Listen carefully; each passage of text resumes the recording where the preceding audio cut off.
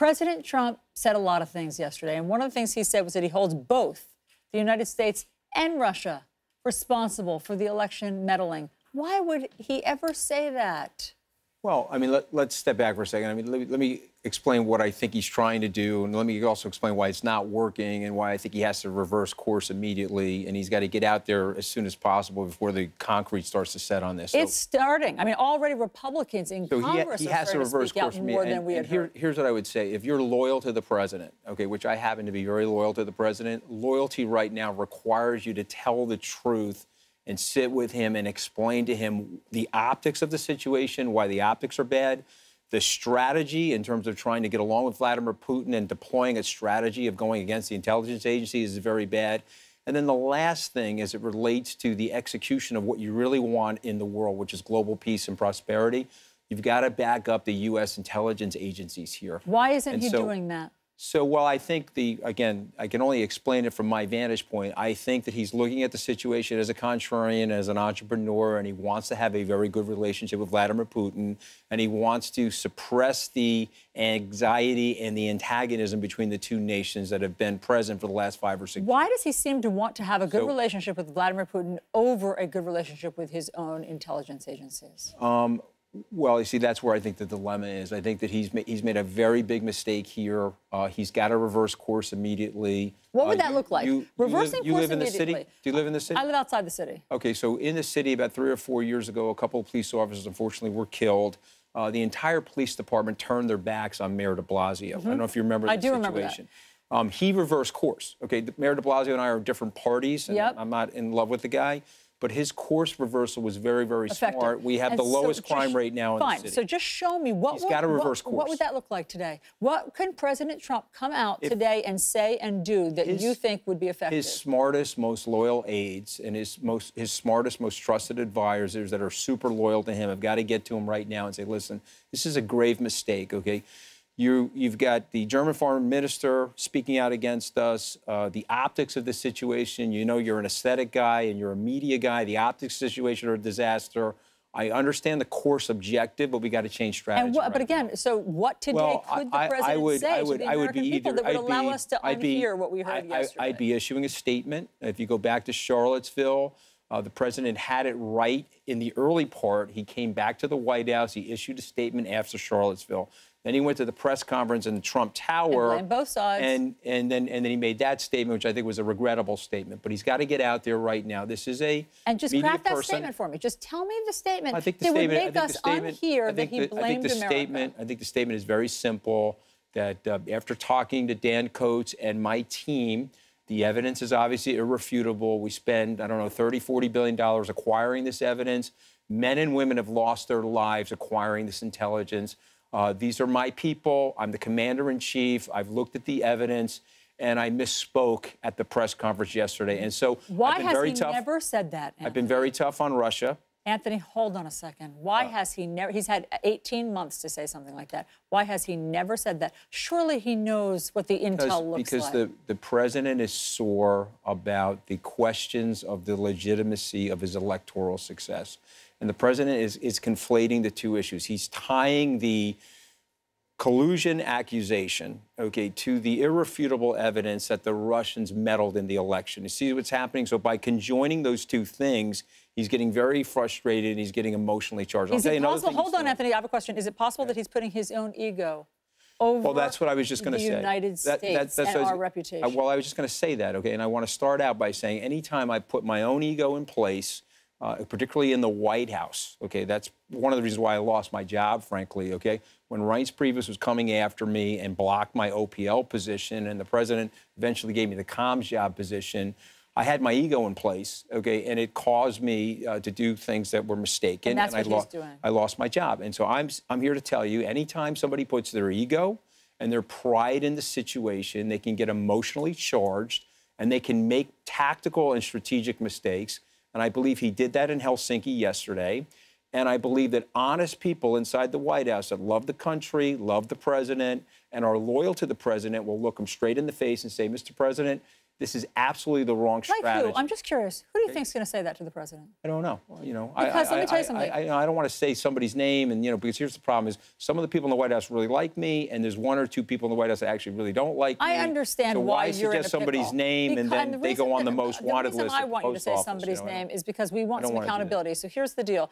Um, yesterday, Bill Shine, whom you and I both know very Mm-hmm. well, the head of the new communications, here he is, the head of the, the communications now in the White House, has basically your job. He was with the president in Helsinki. Sarah Sanders, you saw her there. She was with the president. You think that they have any control over what the president says? not really- He said uh, he talked about America's foolishness and stupidity, even on their watch. I don't, I don't, I don't think they have control, and it's not really even about control. What it is about is trusting your inner self and telling the truth. Okay, you know, we we read in the first grade the story about the emperor not having any clothes, and if the emperor has no clothes, you've got to be the one person in the room that says, "Hey, look, I'm really sorry." Like you, uh, look, I'll speak for myself. I spent two years on the campaign. I gave several hundred thousand dollars to the PAC, the campaign, and the inauguration. And you lost your job. and I lost my job after 11 days. And by the way, it hurt my company. Okay, so, So I'm saying- sitting no, here no, as a very on. loyal guy. I understand that, and I'm I sitting here as a appreciate loyal- that, You got but to switch tactics here. But who is ever going to tell the emperor he has no clothes? Uh, inside the White House? Yeah. Well, I don't, I don't know the answer to that, but I, I do have a close relationship with many people inside that White It House. It doesn't seem like anybody I'm, really I- says this I'm to the hoping, president. But here's the problem: what, what, what's happened is because there's been so many firings, there's been so many defections, and there's been some impetuous activity in terms of the way people get fired. Uh, people like their jobs; they like the the, the access. Yes. That's part of Washington, which you and I probably I don't like. Maybe you like. I, I don't like that part of Washington. And so what happens is you're like, okay, wait a minute. I'm going to keep my mouth shut here, and I'm going to foil. I'm going to I'm going to go into the path of sycophancy here. Yes. And this is the absolute wrong situation to be doing that. It's not absolute wrong situation Anthony. to be doing. Anthony, and so, like me- Rand Paul is an example. Yeah. I get where Rand Paul is coming from, and I too want peace, and I do want to figure out a way to have mutual interest with Russia. I totally understand the issues related to Russia and the threat of Russia as a nuclear power. Yeah. But this is absolutely wrong. So and then you've got to reverse course immediately. Okay. So you're recommending that the president put out a statement today and say what you said, say what you recommended that he say, and unequivocally for the first Well, maybe time. not say what I'm saying. I say mean, he's got smarter people in the room Russia than me. He's got smarter people in the room than me. Okay. He should sit down with his team. Uh, he's got some great people in there. You mentioned Bill Shine. These are great people. Sit Yeah. down, formulate a statement, reverse course immediately. Why haven't they done that? It's 8:08 in the morning on the Uh, East Coast, they, they, Washington. they time. haven't done that because I think number one, there's a general reluctance for the White House to ever backtrack on certain and ever apologize for anything. There's a general reluctance to apologize, although he did apologize to Theresa May at the press conference the other day. I think you caught that.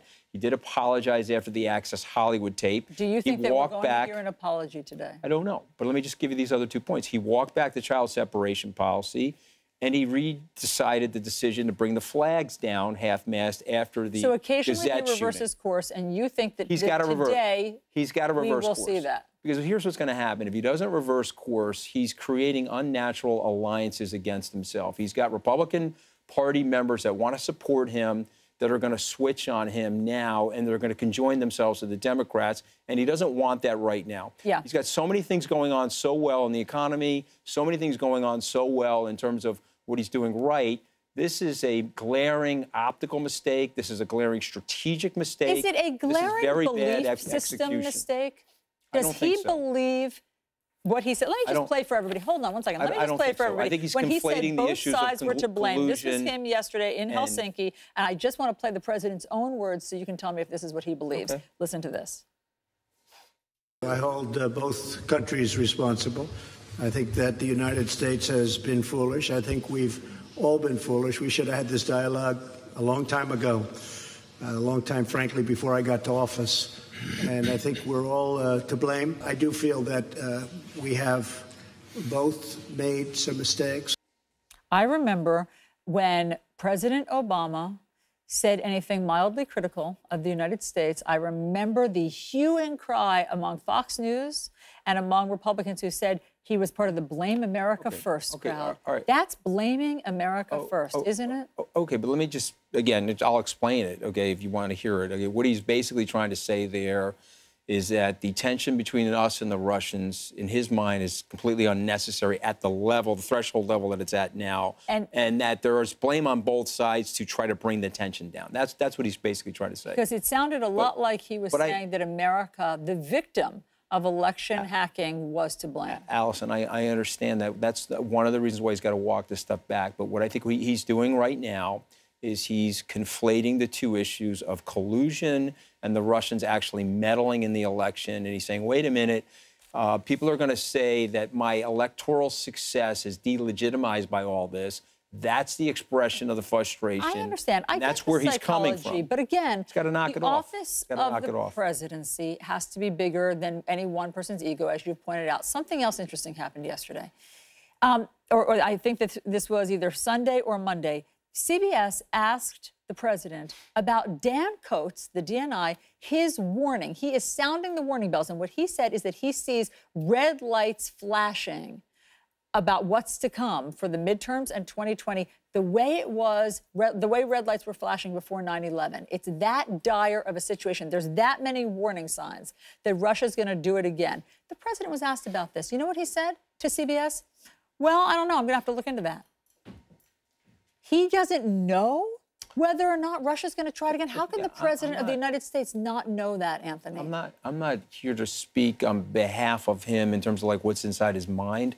I'm here to offer an objective, someone that's loyal to the administration, someone that tried to help him become president, uh, and someone who, who actually sacrificed a lot, frankly, to have that happen. Okay. so why are you And so I'm- I'm- loyal you have sacrificed so much well, well, well, well, so because loyal? because here here's the reason. Okay, he, in my opinion, if you look at the economy, you look at the progress that we've made on policy, and you look at economic growth and opportunity in the inner cities, African American unemployment, Hispanic American unemployment, and you look at the in general direction that the country's going in, it's very, very good.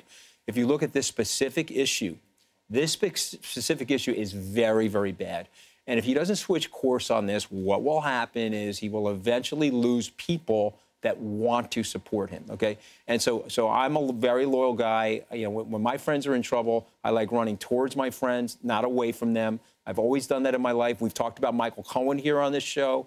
I feel that way about Michael Cohen. You've done But a lot of running but- towards the White House. I, I have, I have, but this is this is a major mistake, Alisyn. And so if they don't reverse it, this is not a mistake of words, by the way. This is not a bad PR kerfuffle. mistake of what? This is a mistake of strategy. And this is a mistake of execution. This is a mistake of thinking, and you've got your ego involved. And let me tell you another thing you're doing. You're conflating the issue of Russian collusion Yes. With uh, Russian meddling. Okay, don't conflate those two issues. Okay, I believe that the president didn't collude, and I accept him at his word there. But I also believe Dan Coats that the Russian government and Russian intelligence officers are trying to disrupt our democracy, and they're trying to make Americans lose trust in the faith of their democratic and the institutions. president needs to do something and he's got to about he's it. got to he's got to speak out about it, and he's got to he's got to reverse course immediately. And I'm telling you, if you don't recur, rec- reverse course immediately, what ends up happening is unnatural alliances are going to build up in Washington and outside of Washington. Oh, listen, it's He's gotta al- do you're. Already hearing Republicans speak out in a way that I'm not sure they have. By the way, don't miss what Paul the German don't miss what the German foreign minister said. If the president said he's having a great time in NATO and NATO loves him and they love him, don't miss what the German foreign minister said. Which was? the German foreign minister said that we're now worried about the United States and we're now thinking about the United States as as us and them being in a potential adversary. and that's very troubling. very bad for the United States. And, I- and I want to say one last thing. I know you got to go to break, but you have to understand the reason why we were spending more money on the military.